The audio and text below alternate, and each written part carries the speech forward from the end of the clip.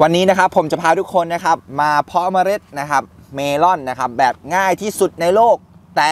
ผลพันธุ์ต้องเรียกว่าระดับมืออาชีพนะครับ หรือผลพันธุ์จะเป็นยังไงนะครับ มาติดตามในคลิปวิดีโอนี้นะครับ ที่เห็นข้างในนะครับ ง่าย ๆ เลยมีองค์ประกอบ 3 อย่างมีขวดน้ำนะครับ แต่ใช้หลักการคิดนะครับ แบบมืออาชีพนะครับ ลากตึมนะฮะไม่ต้องห่วงนี่นะฮะลากยาวนะครับ ลากสวยพอดีนะครับที่จะหยอด ตรงนี้บ่มมาแล้วเห็นไหมฮะอ่าบ่มมาแล้วประมาณสัก 32ถึง33 ชั่วโมงเห็นไหมครับลากไม่ต้องห่วงนะครับ แต่ผมยังจะไม่ขี้ใครออกมาเยอะนะครับ กลัวลากหักแต่ผมจะบ่มให้ลากยาวนะครับ เพราะว่าจะเป็นการหยอดลงหลุมโดยตรงบ่มแล้วงอก แล้ววิธีบ่มคุณปอนบ่มยังไงนะครับ ก่อนอื่นเลยเรามีเมล็ดพันธุ์ทั่วไปจะซองละ25 บาทนะครับ หรือจะเมล็ดละบาท 2 บาท 5 บาท 8 บาทนะครับ ก็แล้วแต่นะครับ เอาใส่ลงไปปึ๊บนะครับ ใส่ไปในทิชชู่นะครับ แห้งๆเลยนะ ใส่แล้วก็อันนี้ครับ ปิดไว้ หย่อนลงไปในแก้วพลาสติกแบบนี้นะครับ ถ้าไม่มีอะไรแล้วนะ แบบไม่มีอะไรเลยนะปึ๊บอย่างนี้นะครับ น้ำนะครับที่มีแบบนี้ครับ หยอดลงไปเทจูกนี่ครับ เข้าไปแบบนี้ ให้ทิชชู่เปียกนะครับ เปียกพอดีนะครับ เปียกแต่ไม่มีน้ำหยดออกมานะฮะแล้วก็ก้นนี้นะครับ แก้วปิดเข้าไปสังเกตว่า มันจะปิดอากาศล็อกอากาศนะครับ เห็นไหมถึงไม่มีกล่องกระดาษกล่องขออภัยครับถึงไม่มีกล่องพลาสติกนะครับ ไม่มีกระติกน้ำก็สามารถใช้วิธีนี้ได้นะครับฟึบเข้าไปเห็นไหมครับ ก็พักไว้อีกประมาณ 32 ชั่วโมง ก็อย่างที่เห็นในภาพนะครับ อัตราการงอกก็มากกว่า 95%นะครับทีนี้ทำยังไงนะครับ เราก็ไปหยอดเมล็ดโดยตรงแบบง่ายอีกเหมือนเดิมครับ ก็จะเห็นว่าตอนนี้มีดินนะครับในกระถางเรียบร้อยแล้วปรุงดินเรียบร้อยแล้วนะครับ ก็คือมีอะไรบ้างนะครับ ก็จะมี ดินในพื้นที่นะครับ ขี้วัวนะครับ หรือจะเรียกว่าปุ๋ยคอกนะครับ ดินประมาณสัก 40%ถึง 50%นะครับ ที่เหลือก็จะเป็นปุ๋ยคอก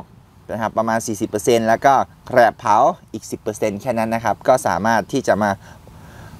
ปลูกเมลอนได้แล้วนะครับเนี่ยพื้นที่ที่นี้จะเป็นดินทรายนะครับ จะเป็นเหมือนดินทรายผสมกับปุ๋ยคอกนะครับ แล้วก็เกียร์เกียร์เกียร์เกียร์นะครับให้เท่ากัน1ถึงครึ่งข้อมือนะครับ เพราะว่ามันเป็นการ หยอดเมล็ดโดยตรงนะครับ ประมาณนี้เดี๋ยวมันก็ขึ้นมาเองได้นะครับ ทีนี้เราก็นำเมล็ดพันธุ์ของเรานะครับ เอาเอาทางด้านล่างนะครับวางลงไปนะครับ ส่วนด้านตรงนี้นะครับ ก็จะขึ้นเป็นต้นนะครับ ก็คือลากลงล่างต้นนะครับ หรือว่าใบเนี่ยจะเสยขึ้นบนนะครับ ก็ใส่ไปเลย เดี๋ยวเขาก็จะกลับถึงเราวางผิดด้านเขาจะกลับเองแต่มันจะช้านะครับ แล้วก็กบลงไปนะครับ หลังจากนี้ก็ ลดน้ำตามนะครับ ก็เสร็จวิธีนี่ฮะการทำปลูกเมลอนแบบง่าย ๆนะครับปลูกแบบไม่ต้องคิดอะไรมากนะครับ แต่ผลพันธุ์ระดับมืออาชีพจริงๆครับ เดี๋ยวผมทำให้เสร็จครับ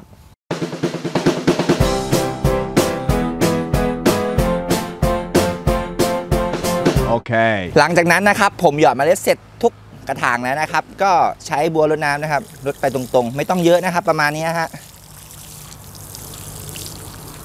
เพราะว่าก่อนหนั้นนี้นะครับ ก่อนที่เราจะมาหยอดเมล็ดเนี่ยเราลดอ่าในกระถางเนี่ยครับให้ชุ่มแล้วนะครับให้แฉะเลยนะครับ ทีนี้พอหยอดเสร็จปุ๊บก็ลดแค่นิดเดียวนะครับ แค่ให้ดินกับเมล็ดนะครับเขาเข้าไปอาอยู่ชิดกันนะครับ ให้ดินมันยุบตัวนะครับไปชิดกับเมล็ดนะฮะเพื่อให้รากเขายึดเกาะได้ดีนะครับ พอเราลดน้ำเสร็จตรงนี้นะครับ ก็รอไปอีกนะครับ กี่วันเนี่ยก็เดี๋ยวจะเก็บข้อมูลให้นะครับ โดยปกติผมก็จะทราบอยู่แล้วแหละ แต่ผมยังไม่บอกนะครับเดี๋ยวลดไปเลย แล้วก็มาลุ้นกันอัตราการงอกนะครับ จะทำให้เขางอกทุกกระถางหรือเปล่านะครับ แล้วจะมีปัญหาอะไรอีกไหมนะครับ ถ้ามีแล้วผมจะแก้ยังไงนะครับ ทุกคนก็จะได้เห็นกันในคลิปวิดีโอนี้นะครับ ตอนนี้ก็ใช้เวลาไม่นานนะครับในการหยอดเมล็ดลงหลุมโดยตรงนะครับมา เดี๋ยวค่อยมาดูอีกครั้งว่าจะเป็นยังไงนะครับ ง่ายๆเลย ตอนนี้นะครับหลังหยอดไป 3 วันนะครับ ก็มาเช็คดูว่าหน้างานจริงของเราเป็นยังไงนะครับ ตอนนี้ก็เมล็ดเมลอนนะฮะงอกนะครับ ทุกกระถางนะครับ ตอนนี้ก็จะมีเพิ่มเติมเรื่องการทำระบบน้ำหยดนะครับ ด้วยขาปักน้ำหยดนะครับ ก็อาจจะแตกต่างจากการทำเทปน้ำหยดนะครับ อาจจะแพงขึ้นมาอีกนิดนึงนะครับ แต่ว่าก็ยังถูกอยู่นะครับ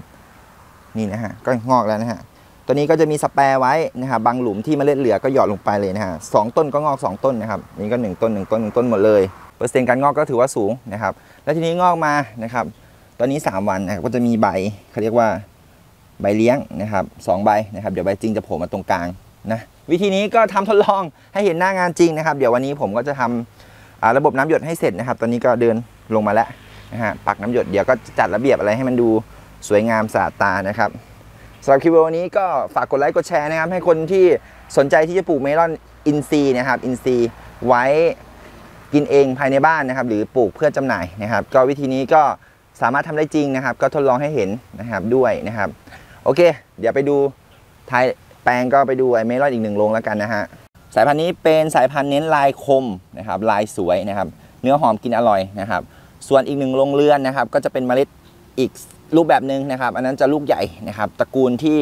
หวานกรอบนะครับน้ำหนักก็จะลูกไม่ใหญ่มากนะครับ เป็นไซส์ญี่ปุ่นเลยนะฮะ ประมาณสัก 1.2 ถึง 1.8 ประมาณนี้พี่น้อง ผมก็ว่าโอเคนะฮะ ก็พอใจนะครับที่ปลูกในระบบอินทรีย์ได้ประมาณนี้ก็ถือว่าโอเคแล้วนะส่วนลูกนี้ก็ใหญ่หน่อยนะครับ จะอยู่น้ำหนักที่โอ้ มันตันนะฮะ ก็สวยนะครับ ลายสวย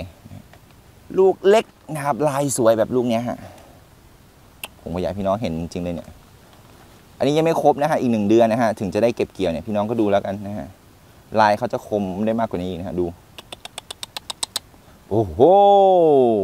สวยนะครับตกลงจะกินเปลือกหรือกินเนื้อปอนไปแล้วฮะ